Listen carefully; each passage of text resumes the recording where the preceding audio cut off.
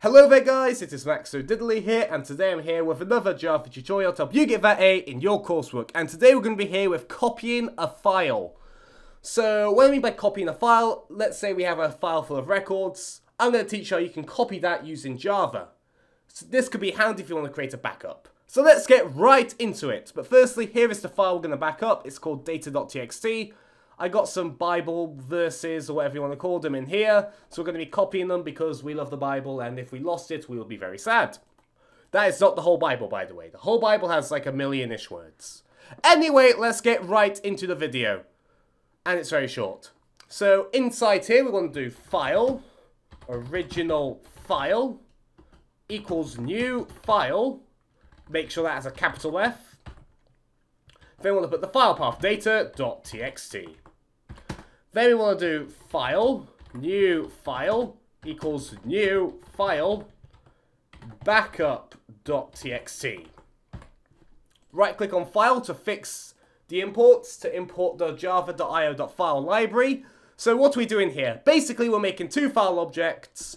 One, which is basically the, the file we already have and that we want to copy. And the second one is going to be the new file we create which will have exactly the same as the original file. That's why I have new file and original file.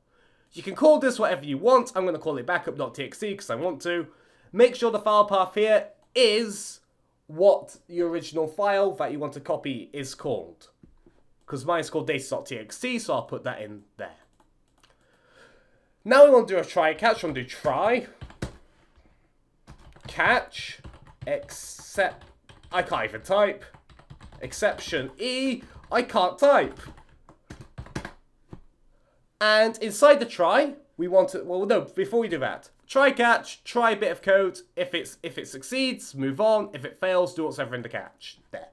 We'll do files dot copy orig.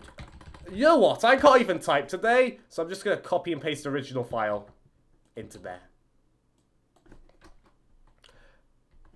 Dot to path and then after that comma new file dot to path. So what do we do here? Well basically what we're doing is you need to do files dot copy. This is just a method which will basically copy the contents of one file to another file.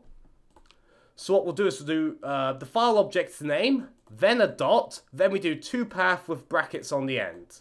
Then we do a comma then we do the same thing, but with the with the new with the other file object. So we would do new file dot to path with the bracket things at the end.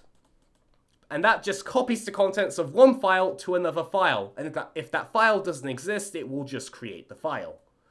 I like to mention if you do not have these file objects created for the files you want to manipulate, it will return an error.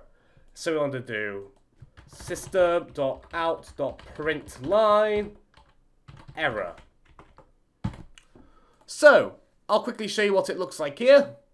Look, we have everything here. We have data.txt. This is our file that we like. We want to copy and make a backup of. Here, and we will see a backup.txt in this folder. So, let's run the program. It might actually take some time, depends on how long it takes to copy. And as you can see, no error was returned, implying that this code worked. So let us look. Oh, and look, we got backup.txt. And look, it's got exactly the same thing as before. All of the Bible stuff. All good stuff.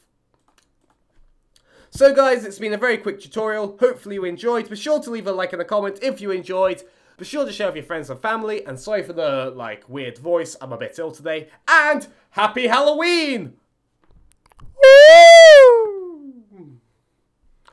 Uh, I hope you all have a great Halloween. I know I will, hopefully. So, yeah, anyway, guys, thanks for the great audience.